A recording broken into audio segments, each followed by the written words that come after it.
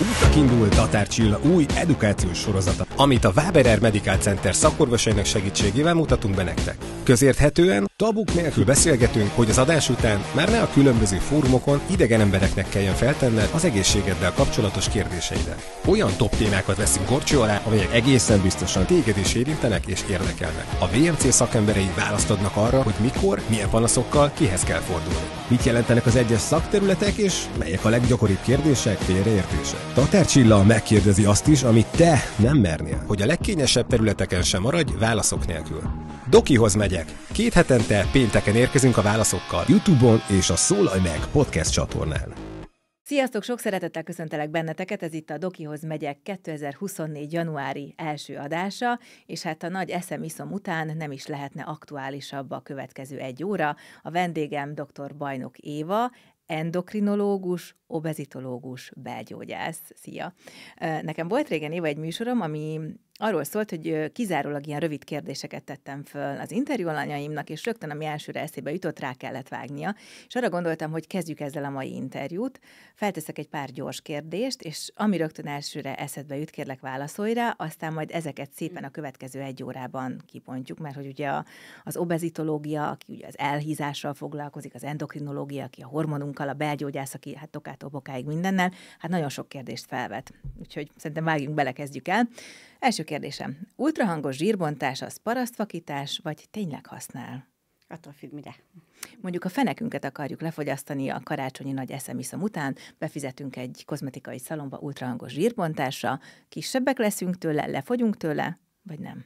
A fenék formáját vagy a bőrállagát lehet vele javítani, általában nem lehet tőle generálisan lefogyni. Lehet erős masszázsal zsírt bontani? Nem. Mi történik a zsírral, amit mondjuk megpróbálnak ilyen-olyan anyagokkal a kozmetikai szalonokban lebontani rólunk? Valóban kipisíjük? Nem. Hová tűnik? valószínűleg a keringéssel visszajut a testbe, és egy más területen lerakódik, ahol jó esetben, ha ügyesen diétázunk és mozgunk, akkor onnan uh-huh. felszabadíthatóvá válik. Tehát igazából a, a lokális, helyi anyagcserét lehet javítani ezekkel a technikákkal. A különböző ö, készítmények, amit kizárólag orvos írhat föl, és az emberek világszerte és itthon is előszeretettel szúrják magukba, ezek egyébként olyan készítmények, amiknek a nevüket nem fogom kimondani, de eredetileg súlyosan elhízott embereknek adták azért, hogy lefogyjanak. Ö, ezeknek a mellékhatásaitól kell-e félni, vagy van-e mellékhatása azokra az emberekre vonatkozóan, akiknek egyébként nem lenne indokolt a használata? De jó, összetett kérdéshez. Akkor azt mondom, hogy van mellékhatásuk, félni nem kell tőle, és indokat esetbe kell adni. A hormonkezelt és génmódosított ételek megváltoztatják-e a hormonháztartásomat? Igen. Nagy mértékben? Nem tudjuk. Jó, ez volt a bemelegítő kérdés, és akkor most szépen kezdjük el uh, kibontani ezeket a uh, történeteket. Szerintem kezdjük akkor a hormonnal. Én feltettem egyébként az Instagram oldalamra egy ilyen kérdésmatricát a, a követőimnek, akik javarészt nők, hogyha egy endokrinológussal szemben ülnének, akkor mi az, ami leginkább érdekelni őket, és hát uh, rengeteg témát megjelöltek, de ezek közül egyébként nyilván a, a hormonháztartásunknak a miensége volt az, ami, ami mindenkit érdekelt. Mi tekinthet tekinthető normális hormonháztartásnak egy embernél van egyáltalán ilyen, hogy ezek a normális hormonok, amihez viszonyítva kell nézni egy embert, vagy ez mindenkinél egyénre szabott? Ez egy nagyon összetett és nehéz kérdés. Eleve mik a hormonok? A hormonok tulajdonképpen hírvívő egységek, a sejtjeink termelik, és más sejtekre hatnak, és ezeken keresztül befolyásolják a működést, az anyagcserét és uh-huh. számtalan dolgot és ezért aztán egy pillanatnyi képet nehéz mondani, hogy éppen most mi a helyzet, mert ezeknek a szintje pillanatról pillanatra napszak szerint, évszak szerint, nemek és kor szerint változhat. Tehát az, hogy éppen abban a pillanatban mi a normális, az, az annak van egy, egy képe tulajdonképpen, de ezt így általánosságban nagyon nehéz megmondani, és annak sincs értelme, hogyha úgy tesszük föl, hogy akkor most nézzük át a hormonjainkat, nem lehet, mert több száz van.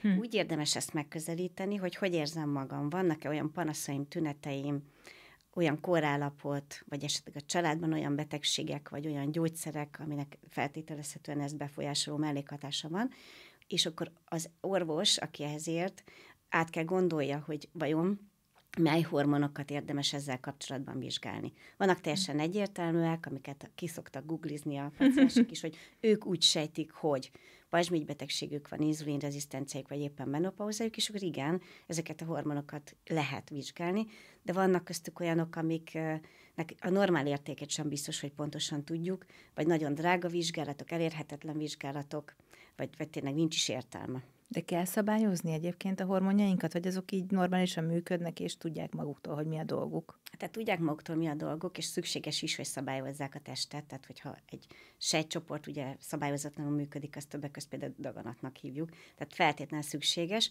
de mi tudunk rájuk hatást gyakorolni. De az kétségtelen, hogy van egy homeosztázis, egy balansz, egy egyensúly, bárhogy is hívjuk, és erre tényleg törekedni kell, és ezt bizonyos szempontból megfelelő életmóddal lehet befolyásolni, táplálkozással, mozgással vagy egyebekkel, és van, amikor ez e, tőlünk függetlenül is el tud tolódni, és akkor kérdés, hogy, hogy azt kell befolyásolni, mondjuk például egy menopauzánál nem feltétlenül, de ha igen, akkor annak az, az, az például az orvos mondja meg, hogy hogyan, és vannak olyan ritka állapotok, amikor halálos lenne, hogyha nem tennénk.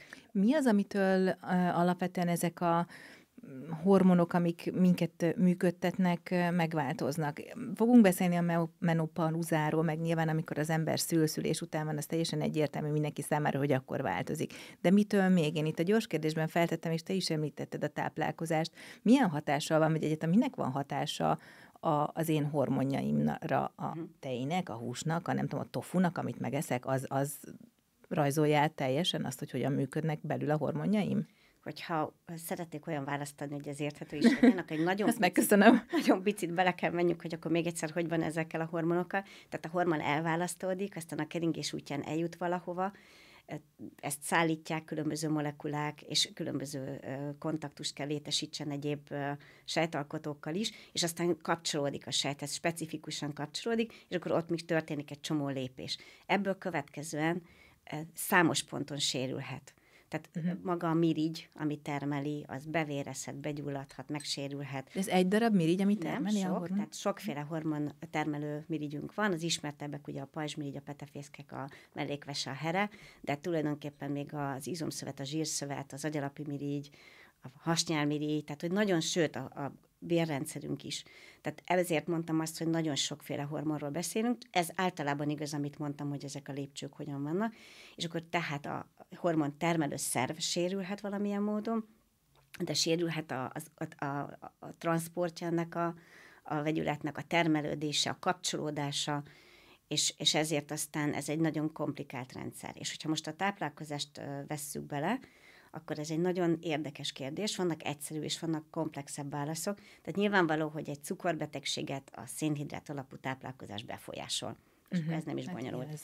Aztán például a, a pajzsmirigyet is befolyásolnak bizonyos táplálékok, ezeket hívhatjuk mondjuk strumigén anyagoknak, tehát ilyen például, hogyha a káposzta nagyon nagy mennyiségben eszi valaki, és egyébként is egy jóthiányos területen lakik, ez ugye régen láttunk ilyen asszonyokat, főleg vidéken a hatalmas nagy pajzsmirigyekkel, ez például egy ilyen a probléma, és akkor... De várj, hogy túl sok káposztát fogyasztottak, Igen. kevés jódot vettek Eleve magukhoz. a földben, ahol éltek, onnan kevés jót tudott felszívódni a, a növényekbe, vagy a, a táplálékba, és a kettő együtt Okoz alakított egy pajzsmirigy betegséget, és ezt ma is felszoktuk megemlítjük a pacienseknek, hogy egy pajzsmirigy alul működésnél mondjuk ne tartson káposztaleves kúrát, az egyébként se tartson, de még van néhány ilyen anyag, amit nem érdemes olyankor nagy mennyiségben fogyasztani. És fordítva egy pajzsmirigy túlműködésnél például jód, egy akut pajzsmirigy túlműködésnél például jódot kell kerülni.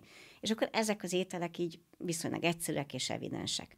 Van azonban az endogén diszruptorok, és ez egy nagyon érdekes és nagyon bonyolult terület. Itt tulajdonképpen arról van szó, hogy anyagok, kémiai anyagok vagy természetes anyagok meg tudják zavarni a hormonműködést úgy, hogy például hasonlítanak ehhez a hormonhoz, serkentő vagy gátló hatást fejtenek ki, vagy ennek a hormonrendszernek a menetét, amit meséltem, hogy hogyan próbál Igen. meghatni, azt valamilyen módon befolyásolják.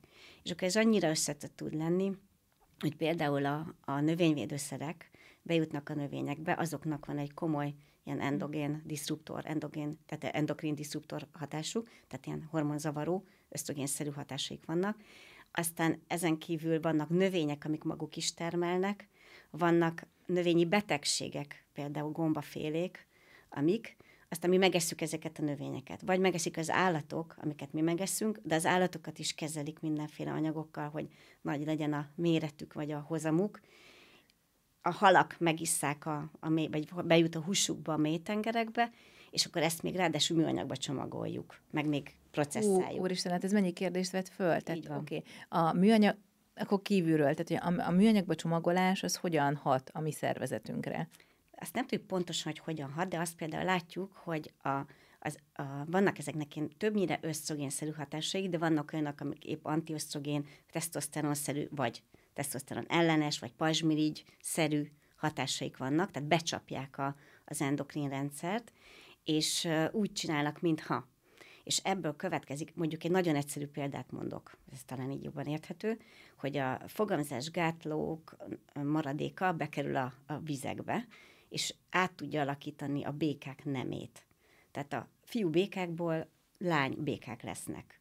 Most mindenki elmegy és felvásárolja a világ összes víztisztítóját ezek után de szerintem. Nem olyan egyszerű ez a, a, a probléma. De várjál, ez nem szűrődik meg? Tehát, hogy ami a csapból, amikor megnyitom és ö, kiengedem, ott is olyan víz jön, ami tartalmazza ezeket a, az alkotó elemeit a fogamzásgátlónak? Akár, de ha most azt mondom, hogy nem tudjuk, hogy mi minden hasonlít még ehhez. Tehát, hogyha műanyagról beszélünk, és ez a mikroszálas műanyagokról mindenki hallott, hogy, hogy ez már a vérben megjelenik. Tehát, hogy most már mégsem igen. sikerült olyan jól szűrni, és annak van egy ugyanilyen hatása, akkor már lehet érteni esetleg, hogy miért van annyi nem fertilis pár.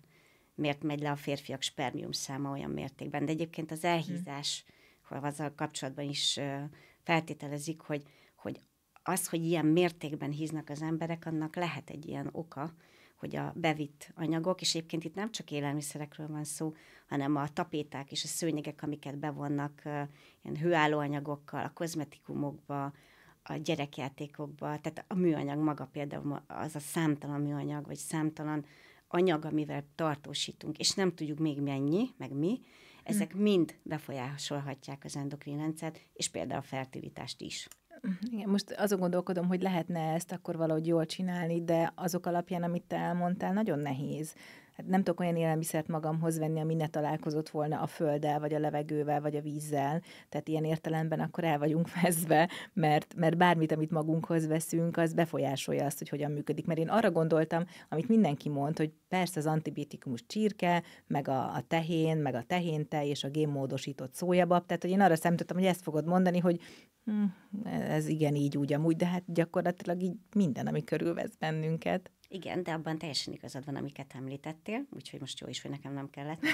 Szívesen. De hogy mégis hogy tudunk védekezni, tehát is megbolondulni nem szabad, tehát az, hogy az ember innentől hát megpróbál igen. a fényből élni, azt nyilván nem. De azt mondják egyes tudósok, hogy azért egy 50%-kal nagyon komoly odafigyeléssel egyéni szinten is lehet csökkenteni, de nem, azért ez nem egyéni megoldás, de igen, tehát például vannak olyan, tehát utána lehet nézni interneten, hogy van egy kódszám a műanyagoknak a hátulján, egy ilyen háromszögben van benne, és melyik az, amelyiket szabad újra hasznosítani, és melyik az, amikben a gyereknek ne adjunk újra mondjuk egy szörpöt, vagy bármi más folyadékot a, a, az uzsonnás táskájába. Tehát mi az, amit szabad újra használni, mert stabil a szerkezete, mi az, amit nem. Vagy uh-huh. például az, hogy, hogy, hogy közösen lépjünk fel az ellen, hogy műanyagba csomagolják az összes ételt, és gyakorlatilag egy nap alatt meg lehet telíteni egy kukazsákot a, a műanyagokkal, amikor csak az ételekre gondolok, és még sorolhatnám, tehát hogy ebben azért lehetne egy ilyen társadalmi összefogás és egy presszió. Igen, csak nyilván ez anyagi kérdés is innentől kezdve, mert ezek az ultrafeldolgozott csilány minőségi ételek nyilvánvalóan sokkal olcsóbbak és sokkal könnyebben elérhetőek. Igen. Um, így Igen. ezért sokkal szélesebb réteg fogyasztja. Itt említettél két dolgot, ami szintén ilyen sláger téma, a pajzsmirigy alul- és fölülműködés. Mi okozza az alulműködést, és mit okoz az alulműködés, és akkor rögtön kíváncsi lennék a felülműködésének is az okokozati következményére. Most uh, szeretném csak a leggyakrabb van előforduló okokat megemlíteni, mert uh-huh. Nem egy endokrin szakképzés. Jó, ez egy ilyen egy órás tanácsadásra jöttem egyébként. Most tulajdonképpen így, most ha kiszámolom, akkor egy tizenvalahány év tanulását és egy több ezer oldalas endokrin könyvet próbálunk itt fölvázolni. Na, a lényeg az, hogy a pajzsmirigy alulműködést mostanában, mert hogy ezt látjuk, hogy tényleg gyakoribb, elsősorban autoimmun gyulladás okozza, megjelenik egy vagy két antitest, vagy több, akár több, de kettőről tudunk, amely egy gyulladást hoz létre a pajzsmirigyben, és az kezdetben egy pajzsmirigy túlműködést okoz, lehet érezni esetleg ilyen nyaki feszítő érzést, mm-hmm. de egyébként egy dopingszerű hatása van, tehát azt a néhány hetet inkább örülni szoktak az asszonyok, hölgyek, hogy jaj, de jó, mert igazából fogyok, több az energiám, kevesebbet kell aludni. Ez amikor alul működik ez a, a pajzsmirigy? Ez a túlműködés, tehát a gyulladás elején gyakorlatilag kiáramlik a pajzsmirigy hormon a sejtekből, Aha. és az okoz egy ilyen fokozott anyagcsere, és fokozott akár hangulati állapotot is, fokozott szívdobogást, érzést, és akkor ez hetek alatt elmúlik, és akkor megpróbál a pajzsmirigy regenerálódni, helyre jönni, és ez vagy sikerül, vagy nem, ha nem, akkor átmegy pajzsmirigy alulműködésbe, annak is számtalan tünete van, de amiért meg szoktak jelenni, ami a legzavaróbb, az a fáradékonyság, a hízás, a hajhullás, a menzes-zavar, de nagyon uh-huh. sok egyéb lehet. És akkor ott pajzsmigy ultrahanggal, laborral megállapítjuk, hogy ez fennáll ez a probléma, és ez egyébként egy viszonylag könnyen és jól kezelhető állapot. Igen, mert ugye nagyon sokszor hallom én is azt ö, nagy túlsúlynál, túlsúlyjal küzdő emberektől, nőktől, férfiaktól, hogy nem tetek róla, a pajzsmirigyemmel van probléma, de akkor ezek szerint az van, hogy igazából, ha kevesebbet eszünk és többet mozgunk, akkor is fogyni fogunk, ha nem jól működik a pajzsmirigyünk? Igen, csak sokkal nehezebben. Aha, mert le... Kétségtelenül hat az anyagcserére, de egyébként egy mondjuk egy 10 kiló pluszt az nem okoz, vagy ami már 10 éve fennáll nem okoz, és tulajdonképpen, hogyha már egyszer be- megkezelődött, és ez a bizonyos TSH, amiről szinte minden beteg tud, amit az orvos ellenőriz, az a referencia tartományon belül van. Tehát ha megnézzük a laborleletet, a jobb oldalán uh-huh. ott van a tólik határ. Ha azon belül van már hónapok óta, nem beszélve évek óta, akkor biztosan nem ez felelős a, az elhízásért. És köszönöm a kérdést, mert... Hanem a helytelen életmód akkor ezek szerint. Többnyire igen, tehát mint ahogy látjuk, hogy Magyarországon milyen nagyon-nagyon gyakori ez a probléma, de azért lehet ilyenkor másokra is gyanakodni. Tehát lehet akár egy inzulinrezisztencia, egy, eh, lehet egy depresszió, lehet egy mm. stressz, és még más okok. Egy picit még maradjunk ennél a hízásfogyás témánál. Ugye nagyjából külföldön talán két-három évvel ezelőtt, de tök mindegy is, mikor megjelentek ugye azok a, az injekciók, amiket azoknak a betegeknek írtak föl elsősorban, ugye, ha jól tudom, Amerikában, akik nagyon jelentős túlsúlyjal küzdöttek, nem indult be náluk a fogyás, ezért nyilván probléma volt a cukrukkal, veszélyben volt az életük, nem tudtak elkezdeni sportolni, és ez a szer gyakorlatilag így olvasztotta le a kilókat. Aztán ez megérkezett Magyarországra is, és amennyire én tudom, egyébként ez egy, egy szuper dolog a cukorbetegek és a kettes típusú inzulin uh, rezisztencia. Az a kettes típusú cukorbetegség az nem egyelő az inzulin rezisztenciával, ugye? Most akkor nem megelőzi. akarok rosszat mondani. Megelőzi. Az Tehát a lényeg a lényeg, hogy a, hogy a, a cukorbetegeknek fantasztikus, mert szabályozza a, a vércukorszintet, és valóban megindul egy fogyás, aminek következtében következtében szintén javul a vércukorszint. Na igen ám, de hogy ugye ezt felfedezték maguknak azok az emberek is, akiknek nincsen egészségügyi problémájuk, viszont a külalakjukkal elégedetlenek. És hát hogy hogyan, milyen úton, módon, de hozzájutottak sokan ehhez, a, ehhez az injekcióhoz, és akár egy ilyen 5-6 kilós súlyfelesleggel, vagy testképzavarral küzdő emberek is elkezdték magukat szúrni ezekkel a készítményekkel. És engem már akkor is nagyon érdekelt, és most is nagyon érdekel, azóta eltelt egy év, amióta ez a botrány kirobbant, hogy ennek a, ezeknek a ö, gyógyszereknek milyen mellékhatásai vannak rövid és hosszú távon. Nem tudom egyébként, ezt majd megmondod, hogy van-e különbség a között mellékhatás tekintetében, hogy indokolta a használata, vagy nem indokolta a használata, de én azt vélelmezem, hogy ilyen-olyan módon, de biztosan valahol benyújtja a számlát. Jó, tehát Nem? akkor a hatások nagyon-nagyon jó hír az, hogy nagyon elenyésző hatása, illetve mellékhatás van ezeknek a gyógyszereknek. Ezek elsősorban gastrointestinális, tehát hány inget lehet érezni az elején, esetleg ilyen büfögést, puffadást, és megdöbbentő módon ehhez a test hozzászokik, és inkább egy tehetségérzet marad meg, és egy étvágycsökkenés Ezen kívül nagyon ritkán, tehát a nagyon ritkán alatt értjük azt, hogy mondjuk 100-200 esetből egy esetben előfordul hasmenés, székrekedés, pici szívdobogás érzés, lehet a beadás helyén egy piros folt, uh-huh.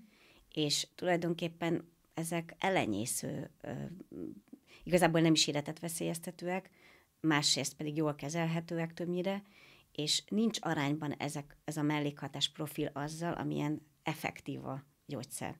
Tehát az, hogy, hogy 6 kilót minimum le lehet vele fogyni, tehát hogy el tudunk érni akár egy 10, egy nagyobb százalékos egészséget javító testsúlycsökkenést, és úgy tűnik, hogy nagyon szertágazó hatásúak, tehát nem csak a szénhidrát háztartásra és a testsúlyra, hanem úgy tűnik mostanában, hogy ez egy gyulladáscsökkentő anyag, és maga az elhízással az az egyik legnagyobb probléma, hogy ezek a zsírsejtek, ezek torzulnak szegények a nagyon nagy kalóriabeviteltől és a, attól, hogy egész egyszerűen összenyomják egymást, és egy gyulladást keltenek, és mint egy állandó gyulladás okoznak ennyiféle bajt az emberbe, több száz uh-huh. bajt amit hogyha rendezni tudjuk a testsúlyt, de legalábbis már valamennyire csökkenteni, akkor ezek a szertágazó panaszok és szövődmények javulnak. Hm. Tehát összességében azt lehet mondani, hogy, hogy annak a szövődménye, hogy ezzel nem csinálunk semmit, jóval nagyobb, mint amiket az előbb említettem. Amitől szoktak így rettegni, az a hasnyálmirigy, gyulladás és rák, ezt igazából nem tudták visszaigazolni, hogy, hogy szignifikáns különbség lenne, hogy valaki kapja vagy nem. Egyébként már maga egy, egy tartós, kemény diéta is csinálhat, például epeköveket, de persze figyelni szoktuk, tehát nyilván felhívjuk a paciens figyelmét, ha összerű fájdalma van hány ingere, hagyja abba azonnal a gyógyszert, és akkor laborvizsgálat, úgy uh-huh. meg lehet erősíteni. Az én praxisomban több száz betegnél egy három esetben vagy négybe fordult el, hogy megmozgatta az epeköveket, és akkor azok eltávolítása után vissza lehetett adni a gyógyszert.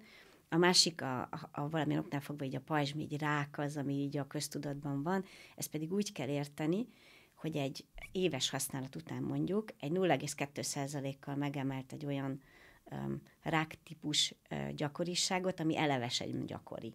Uh-huh. Tehát egy nagyon ritka rákfélesség, mert szerencsére azért a pajzsmígy rák az egy ritka és jól gyógyítható sztori, azt egy nagyon picit megemelte. És akkor megint, ha azt mondom, hogy az elhízás szövődményeiben annyian halnak meg, mint daganatban akkor mérlegelve ilyenkor az, a használatnak az előnyét és a mellékhatás vagy ö, kellemetlen hatásoknak a rizikóját, akkor azt kell mondjam, hogy megéri, és ezért adjuk, és éppen ezért indokolatlanul adni egy gyógyszert, már csak ezért is azt mondom, mert ott a nyereség, az lehet, hogy nem akkora, mint ami mm. esetleg egy mellékhatásból adódhatna. Hozzáteszem, ha valakinek ez a munkája, hogy manöken, és gyakorlatilag kirúgnák az állásából, ha nem lenne a testsúlya olyan alacsony, mint amilyen, mint egy élsportolónál, aki dopingszert használ, ezzel nehéz vitatkozni, de nyilván én orvosként nem fogom fölírni, mert nem indokolt. Igen, inkább ez volt az, ami engem mozgatott, mert az teljesen nyilvánvaló, hogy egy cukorbetegnél a cukorbetegségnek a következményei azok sokkal súlyosabbak, meg egy elhízásnak a következményei, mint ennek a mellékhatása, de egy tök egészséges fiatal szervezetet egyszerűen én nem, nem tudom befogadni, hogy, hogy ilyenekkel kell bombázni 5 kiló súlyfelesleg miatt, vagy egy áhított szálkásabb test miatt.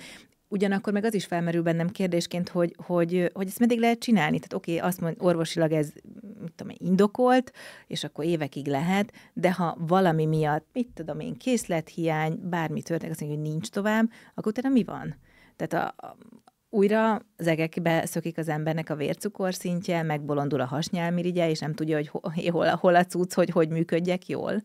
Nem tudjuk pontosan, hogy meddig lehet adni. Egyébként ez egy régi gyógyszer, tehát a cukorbetegeknek már tizen éve adják, és nagyon jó a tapasztalat vele, tehát hogy nem kell felfüggeszteni, uh-huh. nem látunk olyan mellékhatásokat, ami miatt most kellene, idegeskednünk kellene, hogy, hogy abba kell hagyni, és folyamatosan próbálnak fejleszteni új gyógyszereket. Tehát egyébként ez szenzációs, hogy 20 éve egy uh, cukorbeteg embernek kvázi egy-egy gyógyszert és alapvetően inzulin tudtunk adni, és most tudunk adni teljesen más. Tehát lehet, vannak olyan gyógyszerek még, amelyek modernek, testsúlyt is szabályozóak, tehát van alternatívánk, és fejlesztés alatt is van. És valahogy ezt azt hiszem úgy kell értelmezni, hogy minden életév, amit egy jó anyagcsere paraméter mellett él meg valaki, az azért hosszú távon számít. Tehát ha mondjuk egy évig tudtunk csak egy gyógyszert adni, de az alatt ő jó cukrokkal rendelkezett, jó koleszterin szinten, jó vérnyomással, és a testsúlya is csökken, és ugyan a következőben uh-huh. mondjuk nem tudom adni, akkor is nyertem, És hát ezért van hihetetlen jelentősége annak, hogy életmódot tanuljunk meg. Tehát, hogy Igen. nem támaszkodunk egy gyógyszerre csak, és nem úgy gondoljuk, hogy az helyettünk mindent megold, az nem old meg helyettünk mindent, hanem nagyban segít, de akkor hozzá kell tennünk a magunkét nagyon rendesen. És például, ha valakinek megtanítunk egy jó életmódot, akkor ha elhagyja a gyógyszert, mert nyilván ez a cél, tehát nem akarunk egy elhízott embernek sem egyfolytában gyógyszert adni, elhagyja, akkor ez a tapasztalat, hogy, hogy ha ügyes, megtanulta, akkor ő egy jó darabig tudja tartani a testsúlyát. És aztán, ha ez valamilyen oknál fogva, mert az élethelyzete olyan lett, vagy olyan lett az életperiódusa, vagy bármilyen másokból, megint meglódul, akkor ott megint vissza tudjuk esetleg adni. Tehát mm. lehet olyanokat csinálni, hogy az ember adja, aztán szünet, aztán adja, vagy egy mást ad. Hm, világos, megértettem, akkor semmiképpen nem akarom belebeszélni az interjúba, hogy bizonyítékot találni rá, hogy már pedig ezt tilos akkor, hogyha egészséges, vagy bár szerintem egyébként épesztő ember, hogyha egészséges, nem, nem, nem üt eszébe tehát a tilos az, gyógyszert igen, iratni tehát magának. Tehát nem írhatjuk föl, tehát ez, ez ilyen szempontból igazad van tilos. Tőlem meg szokták kérdezni, hogy hm. most akkor me- meg kell várnom, hogy elhízzak, és prevenciónak nem lehet adni. Mi van?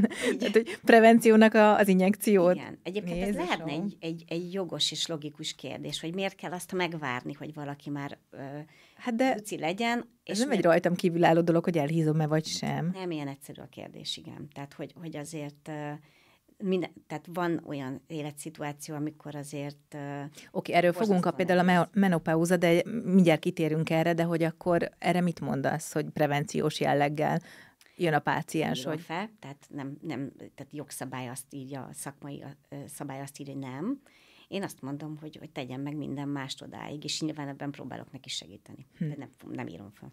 Jó, akkor beszéljünk a rajtunk kívülálló okokról, amikor azért hízik el valaki, mert, tehát hogy nem az életmódjával van probléma, nem a testmozgásnak a hiányával, nem tudom, a genetika az mennyire befolyásolja, ez is egy izgalmas kérdés, majd erről beszélünk, hanem mondjuk amiatt, mert a hormonháztartása teljesen megváltozik, például a menopauza miatt. Annak mikor jelentkeznek az első tünetei a nők életében, hogy, hogy a menopauza felé közelítenek?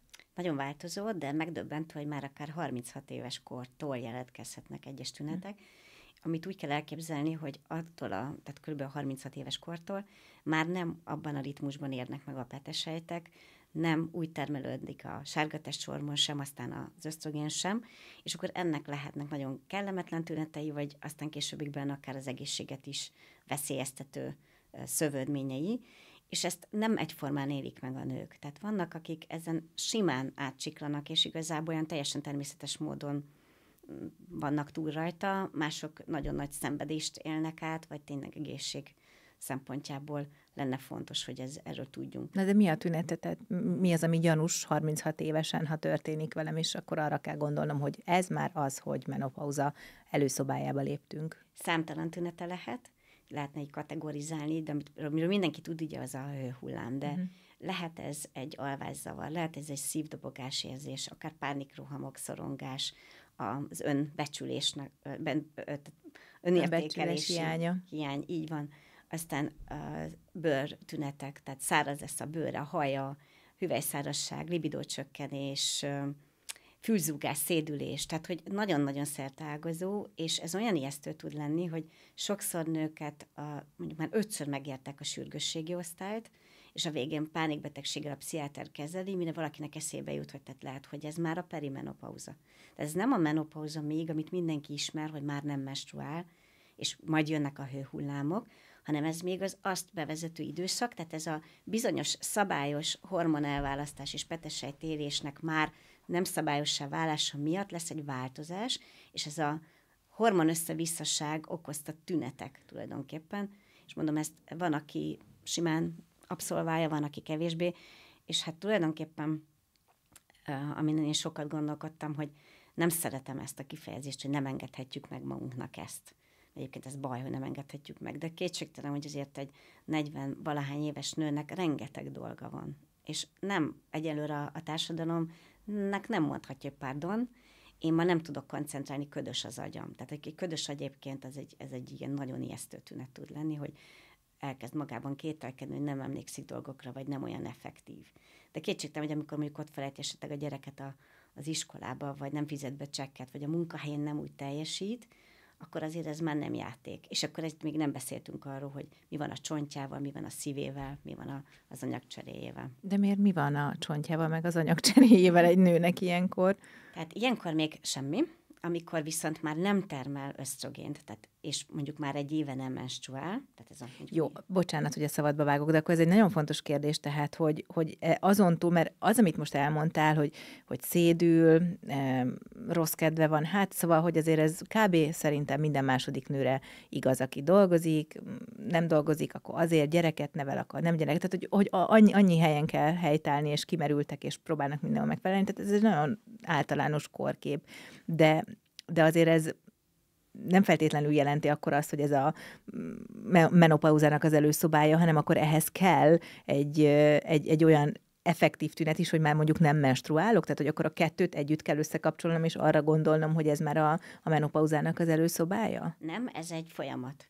Tehát ezt úgy kell elképzelni, hogy, hogy egyre rosszabbodhatnak esetleg ezek a tünetek, de még van menstruáció, bár az már változhat, tehát lehet rövidebb, hosszabb, erősebb, gyengébb, az már jelentkezhet, de hogy például ne gondoljuk magunkról, hogy megbolondultunk, vagy ne gondoljuk azt, uh-huh. hogy, hogy inzulinrezisztensek vagy pajzsmígybetegek vagyunk. Egyébként a pajzsmígybetegség szokott lenni, hogy kiguglizták, hogy ez mindig az, ez a sok tünet, amit elmondtam, az átfedő, és hogy biztos, hogy nem jól vannak kezelve, hihetetlen jó a TSH, de akkor is biztos, hogy rosszul van kezelve, mert hogy ezeket a tüneteket megéli, és rosszabbodnak.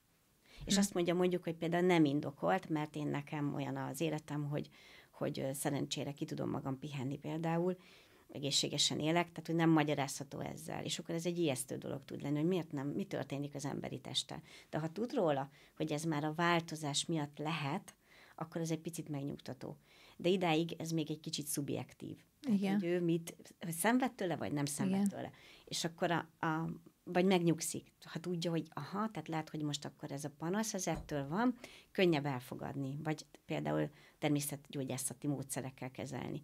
De onnantól kezdve, hogy már nem menstruál egy éve, és már az ösztrogén szintje alacsony, a, ezt szabályozó FSH szintje magas, egyrészt még erősebbé válhatnak a tünetek, de onnan az ösztrogén védőhatása kiesik, és ez elsősorban a szívérendszerre, a csontokra és a, a kognitív funkcióra vonatkozik és ezért van akkora nagy jelentősége, hogy 50 éves kortájékán mindenképpen menjünk el ezekre a szűrővizsgálatokra, mert például egy 20 éven magas koleszterin szint ilyenkor nagyon komolyan meg tud ugrani, és hogyha hozzátesszük, hogy még van más probléma is, mondjuk egy magas vérnyomás, ami egyébként ilyenkor romlik, egy inzulinrezisztencia, amikor ilyen romlik, pajzsmígybetegség ilyenkor kialakulhat, és van hozzá mondjuk még egy túlsúly is, és nem tud aludni, akkor ez ilyen kombinációban már egy komolyabb szívérrendszeri probléma lehet. Nem kell, hogy az legyen. Ugyanígy a csont, tehát nem megérni kell, hanem el kell menni, lehet ilyenkor egy vérből történő vizsgálattal is, és egy csontsűrűségméréssel is ellenőrizni, hogy abban az egy évben ő nem az az embere, akinél jelentősen megindul, meglódul a csontvesztés, az egyébként nagyjából minden negyedik embernél van így, mert ha igen, akkor ezt kell kezelni. Előtte kell rá valahogy készülni? Fel tudok rá készülni, hogy ezek a tünetek ne legyenek annyira súlyosak? Igen, tehát a, tulajdonképpen ez egy barátomnak, vagy természetgyógyász barátomnak volt a nagyon jó meglátása, hogy ugyanúgy, hogy egy gyereket nem etetünk birka pörköltel, egy 50 éves körüli hölgynek sem lehet ugyanaz az életmódja és formája, mint volt például 30 évesen. Jó, de te most az 50 évesről beszélsz, ami már nagyon egyértelműen az a uh-huh. kor. De amikor még csak 40 éves valaki, 41, de meghallja ezt egy tanácsadáson, vagy itt a podcastban, hogy, hogy lehet, hogy ez már akkor az, hogy nem tudok aludni, megver a szívem, meg elfelejtek dolgokat, akkor, akkor mit tud csinálni? Itt említetted, azt elfelejtettem egyébként mondani, hogy ez nagyon izgalmas kombináció, itt egyébként természetgyógyász végzettséged is van, így aztán még inkább indokolt a kérdés, hogy lehet-e, nem tudom, gyógynövényekkel, vitaminokkal, mit tudom én, bármivel segíteni azt, hogy ne érezze a nő annyira nyomorultul magát, amikor éppen abban a szakaszban van, amiről, erről, amiről beszéltünk az elmúlt öt percben. Igen. Tehát, mit? Tehát akkor mi, mit hát, csináljunk? Aha. No, hát ha ezek a szelíd gyógymódok, mondjuk én választanék egy jó természetgyógyász biztos, tehát nem csak úgy uh-huh. rendelgetnék magamnak, hanem olyat. Az semmiképp ne, igen. Igen, tehát azt már egy eleve nem, nem javasolt. De például igen, az akupunktúrának, akupresszurának, jogának, a, az illóolajok alkalmazásának, van létjogosultsága. Tehát bizonyítottan tud segíteni ilyen panaszokon, de maga az életmód is. Tehát az, hogy nagyon sokkal komolyabban, tehát például azt szokták mondani nekem, hogy én ugyanazt csinálom, mint eddig, még egészségesen étkezem, rendszeresen mozgok, mégis hízom. Hát ez törvényszerű. Törvényszerű azért, mert idősödünk, és nem fog kelleni annyi kalória mondjuk 45 évesen, mint 35. Tehát muszáj változtatni. És erre mondom tulajdonképpen, hogy ez a változó kor magával kell ö, hozzon változásokat. És például sokkal jobban oda kell figyelnünk sajnos a bőrünkre, több, meg kell felelő mennyiséget kell aludni, tehát itt, itt már nem lehet azt, hogy én most elmentem bulizni, vagy sorozatot bámultam, hm. vagy éppen dolgoztam hajnalig, az, utána nyoma van. És nem egyszerűen csak azon, hogy hány szarkalában a szememben, vagy mekkora tasak a szemem alatt, hanem azon is, hogy éhesebb leszek, vagy hogy, nem, hogy az a ködös tudattal, hogy a mikrobiommal. Tehát ez egy nagyon bonyolult rendszer, és, és az hmm. életmód alatt értettem ezt, hogy akkor még egyszer átnézem a diétámat, hogy hogy tudom ezt optimalizálni, hogy ne hízzak, hogy ha eddig nem mozogtam, akkor sürgősen nekiállok, fokozatosan.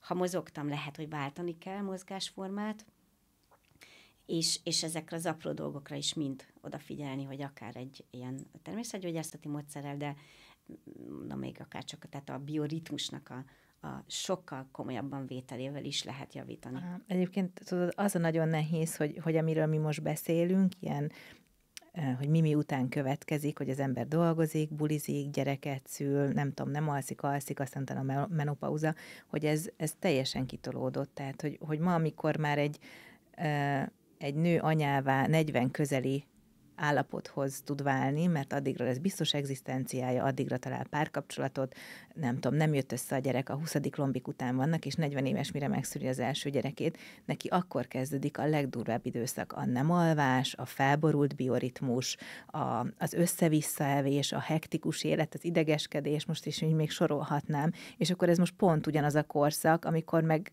azt kéne csinálnunk, hogy aludj rendesen, mozog rendesen, legyen jó bioritmusod, mindig meleg étel legyen, szóval hogy egyszerűen ez, ez annyira kivitelezhetetlennek tűnik a, a mai kornő számára, hogy, hogy ez most olyan kétségbeejtő, hogy, hogy hogy lehet ezt akkor jól csinálni, hogy a saját életünkre vonatkozóan ne bolonduljunk meg, mert, mert nagyon sokan ebben a helyzetben, nagyon kevesen szülnek 20 éves korban. Hát ez így van. Úgyhogy... És ez, ez, egy, ez egy helyzet, tehát ez most így nem érdemes lata, az, azon kilózni, hogy ezt most már hogy így kéne, vagy nem így kéne, ez így van. Szerintem... Nem csak azon, bocsánat, csak azon gondolkodom, hogy hogy lehet adaptálni ezeket az információkat a mai kor nőjéhez, tehát hogy nem, nem fognak tudni 7-8 órát lehet aludni, mert két óránként kell a gyerek, de, de például az, amit mondta, és ez megütötte a fülemet, hogy például az illaolajok, gyógyták, nem tudom, hogy ezeknek a használata is tudna, tudja befolyásolni. Erről egy picit beszélhetünk, hogy hogyan, mert én ebben nagyon szkeptikus voltam. És ezt mondtam is neked a telefonban, hogy imádom az illatát az illóolajoknak, de nálam ott nagyjából megállt. És minden más, amit erről kap, ezzel kapcsolatban mondtak, hát nem tudom, olyan, tudod. Uh-huh még egy picit visszakanyarodnék, hogy Jó. hogyan. Tehát Jó. szintén megmondom neked, hogy én is napi szinten küzdök vele. Tehát nem biztos, hogy meg tudom mondani, de egyrészt azt, hogy prioritások. Tehát, hogy most még nagyobb jelentősége van annak, hogy mi az, ami fontos, és mi az, ami nem. Tehát nyilván, ha, ha beteg a gyerekem, nyilván, ha egy munkát muszáj befejeznem, akkor, akkor azt meg kell csinálni, tehát akkor nem, nyilván nem akkor fogok magamnak bonyolult ételeket készíteni, és, és a legbonyolult bedzésterveket végrehajtani, tehát ezek, ezeket, ez világos. De akkor viszont mégiscsak onnan veszek el, hogy nem nézem meg a sorozatot este. Tehát, hogy tényleg fogom magam mm. és kikapcsolom azt a televíziót, és igenis lekorlátozom a képernyőidőmet, vagy tudatosan, vagy kikapcsolom. Tehát, hogy, hogy akkor már nem megengedhető, hogy az ember egy órát azon szórakozom, hogy a közösségi oldalaknak a furcsaságait nézegeti, mm mert az egy óra, és az egy hasznos lenne más szempontból. Uh-huh. Tehát azt a tudatosságot kell belevinni, hogy nekem ez a dolog mennyire befolyásolja az életemet, és hogy én itt bizonyos tudok időt spórolni magamnak, mert hogy kell. Uh-huh. És akkor visszaérve mondjuk az íróolajokhoz, nem vagyok gyakorló természetgyógyász, tehát mondom, én is a saját megbízható velem partneri viszonyban, tehát ilyen munka viszonyban dolgozó természetgyógyászhoz szoktam elküldeni ilyenkor a pacienseimet, de hogy hogy hatnak az illóolajok, akkor erre gyorsan kitérek több módon hatnak, de mondjuk ez egy nagyon érdekes dolog, hogy a, ezek a vegyületek ugye az or, orrunkon keresztül rögtön az agyunkba jutnak, és ott a, ennek a bizonyos ideg végződésnek a végében található az amigdala nevezetű Igen. agyi központ, ami az érzelmekért, a, a memóriáért felelős, és mögötte pedig a hipotalamusz és az agyalapi mirigy, ami aztán meg számtalan dolgot Igen. befolyásol. És úgy tűnik, hogy ezek az illóolajok ezeket valamilyen módon tényleg tudják befolyásolni, és mondjuk például a, szó volt talán a levenduláról, hogy az igen, az tud egy nyugtató hatást, egy alvást elősegíteni. És amennyiben ez nem egy durva alvászavar, akkor miért ne próbáljuk ki, ha egyébként nem káros. De ez a belélegzés, vagy a bőrre kenés is jelenti? Mind a kettő lehet. Most én azt a mechanizmust mondtam el, Aha. hogy hogy hat a, mondjuk az agyra, de a bőrön keresztül is tud, igen. Tehát lehetnek tényleg mondjuk baktericit hatásúak lenni. Nekem például a védőnő annak idején mondta az óvodába a gyerek, mikor már harmadjára volt tetves, pedig tényleg mostuk a haját, fel is ismerem a tetűt, hogy a tarkójára kenjek egy picit alfaolajat, és akkor majd ezt nem szereti ennek az illatát a, a tetű, és akkor távol marad a gyerektől. Tehát, hogy, hogy ezek ilyen nagyon érdekes, hasznos dolgok lehetnek. Nem mm. Helyre kell ezeket a dolgokat tenni. Tehát, hogy az endokrinológia és egyébként a betegségek is olyan, mint az 50 szürke árnyalata. Hm. Hogy nem a jó értelemben mondtam sajnos, hogy vannak nagyon enyhe eltérések, és nagyon durva eltérések. Hm. És az enyhe eltéréseknél meg lehetséges, hogy ezek a módszerek segítenek. Uh-huh. A közepeseknél párhuzamosan a, az orvosi megoldásokkal, a nyugati metodikákkal, és van, amikor megengedhetetlen, hogy valaki illóolajjal próbálja meggyógyítani egy daganatot nyilván. Igen, nekem valószínűleg inkább ez a probléma, hogy amikor lázas a gyerek, akkor kenegetik a talpát, nem tudom mivel, és akkor úgy azt érzem, hogy de hát ez biztos nem jó, hogy nem tudom, mit szoktak a talpra kenni, mert olvastam valahol, ami kismama csoportban lázas a gyerek, akkor nehogy izét adj neki, láscsillapítva, nem kent be a talpát, nem tudom mivel. És te mindig úgy megítek, hogy jó, jó ég, de ez nem égbe kiáltó baromság. Hát, hogyha mondjuk ez a gyereknek a láza nem nagyon magas, és nem a harmadik napja tart, és nincs neki lázgörcse, epilepsziás rohama, és mindenféle egyéb baj, ami miatt megengedhetetlen lenne egy magas hőmérséklet, akkor a láz gyógyít. Tehát az, hogy az anyuka megpróbál egy picit segíteni valahogy a gyermekén, mint régen ugye borogatták uh-huh. a mhm. fejét. Jó, hát így ennek így okay, valóban van hatása. De mondjuk, igen. amikor a, az orvos mondja, vagy kéri, hogy most már harmadik napja mégse legyen már 40 fokos láza a gyereknek, mert abból ő neki nagyobb baja lehet, igen. mint abból, hogy most gyógyszert kap. Tehát azért a gyógyszer rendben van, hogy hogy, hogy idegenkedünk tőle, de hát azért ez nagyon sok ember életet mentett már meg. Igen. Beszéljünk egy picit a testtömegindexről, ami ugye legtöbbünkben egy ilyen BMI nevezetű kalkulátor formájában jelenik meg a fejünkben. Ezt ugye bárki ki tudja számolni, beüti a Google-be, hogy hány centi, hány kiló, és akkor kijön, hogy mennyi az ő testtömegindexe, és hogy a táblázat szerint akkor ő melyik kategóriába tartozik, a csontsovány, sovány, elhízott, nem tudom, túlsúlyos kategóriába. Ennek endokrinológiai, obezitológiai szempontból mi jelentősége van? Tehát az az egyetlen egy darab szám, amit ilyenkor kap az ember, az, az mit üzen? Hát ez nekünk egy segítség, hogy valahova kategorizáljuk be ezt a betegséget, mert hogy az elhízás egy betegség, uh-huh. elég bonyolult betegség. És akkor, hogy hol engedhető meg az, hogy például csak életmódot váltsunk, vagy hol, honnantól kezdődik az, hogy például gyógyszert adjunk, vagy honnantól az, hogy akár sebészeti módszerekkel segítsünk. És hát, mint említettem, az elhízás az rengeteg betegségnek a, az elő, nem is csak az előszobájám, az oka.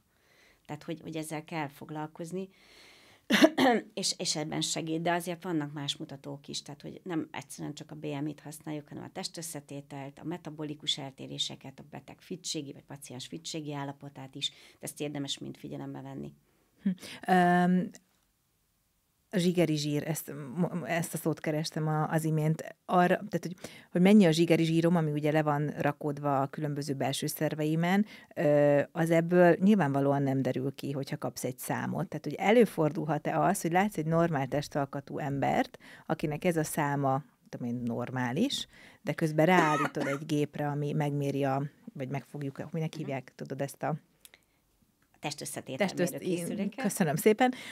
És olyat látsz, ami, ami igazán meglep téged, tehát mondjuk a zsíge zsírja az viszonylag magas. Igen, tehát ez egy nagy segítség tud lenni. Tehát mondjak egy megint érdekes példát, ez a skinny fat, ami így most a köztudatban van. Tehát ők azok a hölgyek, bár egyébként urakra is igaz, akik mondjuk nem nagyon mozognak, és ugyan a BMI-jük az normális lenne, tehát mondjuk 25-27 közötti, az nem teljesen normális, de nem elhízott, picit túlsúlyos, de ha ráállítom egy ilyen készülékre, akkor kiderül, hogy alig van izma, és rengeteg a zsírszövete és akár ez inkább zsigeri területen helyezkedik el, akkor ott még akkor is agresszívebben járok el, mint hogyha mondjuk adott egy olyan ember, akinek ugyan 27-es, 30-as a BMI-je, de pazar izomzattal rendelkezik, az a zsírszövet az inkább a bőr alatt van, uh-huh. és csupa szép eredménye van, és ha azt kérem, akkor a lépcsőn is simán fel tud menni.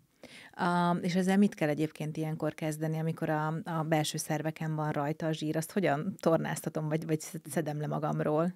Annak nincs olyan specifikus tornája vagy diétája, annak a diéta, tehát a kalória, kalória deficit, aha. a megoldása, és a minél több uh, mozgás, tehát ez a minimum napi 30 perc valamiféle bármilyen fizikai aktivitást tud rajta segíteni, de adott esetben ezeket a, ezek a fogyást elősegítő gyógyszerek is uh-huh. kifejezetten tudnak segíteni a zsigeri zsírnak a bontásában, illetve hát célszerű lehet egy kivizsgálás is, tehát például egy nemi hormonhiány, vagy egy inzulinrezisztencia, vagy épp a pajzsmíbetegség, ezek, vagy egy, a stressz maga, vagy az alvási apnoét, vagy a, a még bizonyos problémakörök, betegségek, azok előszeretettel idézik elő azt, hogy ez a zsírszövet inkább ezen a területen helyezkedjen el, és akkor ha például én segítek azon, hogy az inzulin rezisztenciát még specifikusabb diétával, vagy életmódváltással, vagy gyógyszerrel segítem a gyógyulását, akkor hamarabb fog eltűnni ez a zsigeri zsír is. Most erről a zsír különböző helyen való lerakodásáról jutott eszembe, hogy ugye vannak olyan típusú emberek, akiknek kifejezetten csak bizonyos területeken vannak. Tehát mit tudom én, a feneken, derékon, hason, nem tudom, alkaron, tehát olyan egészen érdekes helyekre tud csak lerakodni, tehát hogy nem összességében. És rengeteg olyan készítmény van, amit ilyen zsírégető krémként apostrofálnak, és rogyásig van bele a, a drogeri márktoknak a a polca. Ezek valóban elégetik, hogyha magamra kenem, tehát mert hogy uh-huh. kentem már magamra én is, semmi nem történt, csak kibírosodott a bőröm. Nyilván azt hittem, hogy hú, most biztoség, mert piros a bőröm, de hogy valójában mi történik? Hát ugye az, hogy hova rakodik le a zsírszövet, az, az nemektől is függ, tehát Igen. a, a hölgyeknek inkább a popsikör szakadt, az uraknak meg a hasa, tehát ebből is látszik, hogy ez nemi hormon függő dolog, de alkati is, tehát meg lehet nézni Igen. a családot, hogy jaj, de aranyos, itt mindenkinek olyan érdekes alakú popsia van, Igen. és hogy tulajdonképpen amíg ez egy egészséges testben van, addig esztétikai kérdés, és inkább itt a médiának a hatása az, ami befolyásolja, hogy valaki szegény nincs magával megelégedve. Hm, hát igen. Mert nem homokor alakja van.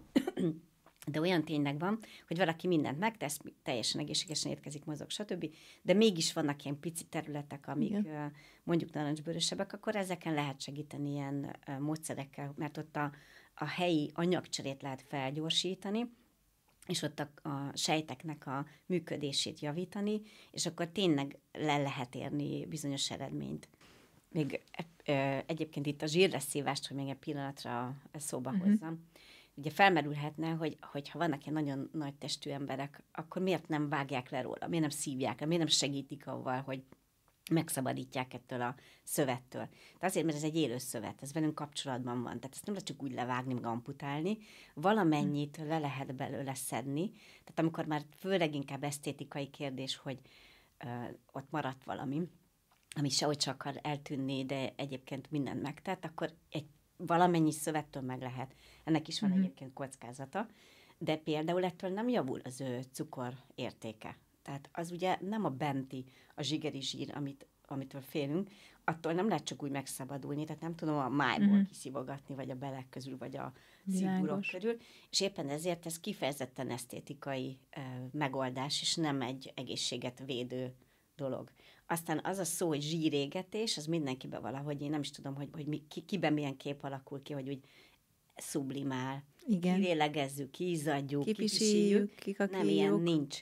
Tehát az emberi test az csodálatos, és a zsírszövet is az tulajdonképpen. Tehát ha belegondolunk, hogy mi nem vagyunk madarak, és nem kell egyfolytában ennünk, hogy életben maradjunk, mert van egy raktárunk, és ha nagy baj van, akkor ez véd minket, erre már nem szoktunk így gondolni. De éppen ezért a test az, az nem engedi csak úgy eltüntetni a zsírt. Tehát az, hogy, hogy én kívülről megpróbálom azt onnan feloldani, meg helyettem valamilyen szer majd ezt felhasználja, ilyen nincs. Tehát olyan van, hogy például, ha valaki hideg vízben ül, akkor ugye az anyagcseréje fokozódik, a szíve gyorsabban ver, a keringése fokozódik, akkor fogy. Csak ezt nem nagyon szeretjük, ezt nem bírjuk ki. De az, hogy ö, például ö, miért tiltanak be bizonyos fogyást elősegítő szereket, mert azok az anyagcserénket valóban fokozzák, tehát kvázi helyettünk használják fel a zsírt, de ez, ezek súlyos mellékhatásokkal járhatnak. Tehát, hogy a pajzsmígyhormont miért nem használjuk fogyásra, az azért nem, mert hamarabb fog infarktusban valaki ö, meghalni, mint sem, hogy hmm. most éppen eltűnne róla a zsírszövet. Tehát olyat lehet ezek a kiegészítők, amik egy megfelelő életmód mozgás mellett segítik a zsírbontást, de helyettünk semmelyik szer sem fogja eltüntetni. Ilyenkor az újévi nagy zabálás, meg a karácsonyi trakta után mi a legnagyobb baromság, amit az emberek el tudnak követni újévi fogadalom címszó alatt, és akkor el is érkeztünk a beszélgetésünk végéhez, hogy ilyenkor te január, február, március környékén milyen őrültségekkel szoktál találkozni? Hát én nem találkozom ilyen örültségekkel, mert... Akkor a várólista, hogy be augusztusban bejelentkezett. Ezen túl Igen. De nem, ami, ami így... Az, hogy azt gondolja az ember, hogy, hogy még éjfélkor megette a, a maradsültet, a virsét, a persgőt, és akkor január 1-én felébred úgy, hogy már nem éhes, és innentől kezdve valami nagyon drasztikus életmódváltásba tud kezdeni, hát ez, ez nonsens, ez nem reális. Úgyhogy én így eleve már azt mondom, hogy az ünnepek előtt nem állt erre készülni, de legalábbis mm. mentálisan meg azt, hogy tudom, mit fogok majd csinálni. És azt, hogy nem akarok mindent egyszerre megváltoztatni, hanem néhány dolgot próbálok meg, ami betartható, ami már segít, és akkor azt a három dolgot uh, tartom, három hétig, hat hétig, és akkor utána választok megint másik hármat, vagy azon a hárman egy kicsit szorítok. Tehát, hogy nem véletlenül mondjuk azt, hogy, hogy életmódváltás, az, az egy, ez egy hosszú távon fenntartható dolog kell, hogy legyen, ami az egészséget szolgálja, az ritka, hogy egy csatintésre hmm. megy. Tehát azt, hogy valaki azt mondja, hogy január 1 nem dohányzom, és azt meg tudja állni, a ritkaság, de meg van ilyen, akkor igen, az egy drasztikus életmódváltás volt, de az étkezésre ugye az a nehéz, hogy, hogy enni kell, tehát nem tudom azt csinálni, hogy mostantól nem eszem, ez ilyen egyszerű lenne, akkor, akkor működne, nem működik. Tehát, hmm. hogy a, az elhatározás legyen az, hogy javítok az életminőségemen, mit tudok ebből vállalni, ami mi fér bele az én életembe, és akkor azt viszont könyörtelenül, mindenféle magyarázkodás nélkül meg is tartom.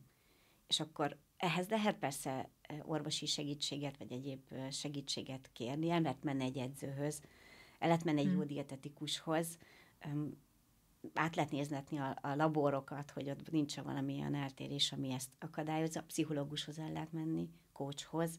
Tehát, hogy nagyon sok ponton uh, tudok magamon segíteni, és megpróbálni egy uh, tulajdonképpen ilyen etapokra, lépésekre osztani a tervemet. Tehát ha például az a tervem, hogy én 25 kilótól szeretnék megszabadulni a következő évben, akkor ez nem lehetetlen dolog, de hogy ezt szétszedem részekre, és mm. azt mondom, hogy márciusig szeretnék 6 kilót lefogyni, és ehhez én milyen változtatásokat fogok tenni. De ez nyilván nem csak a táplálkozásra vonatkoztat, hanem sok más egyébre is, hogy, a, hogy ilyen kisebb lépésekben próbálok gondolkodni.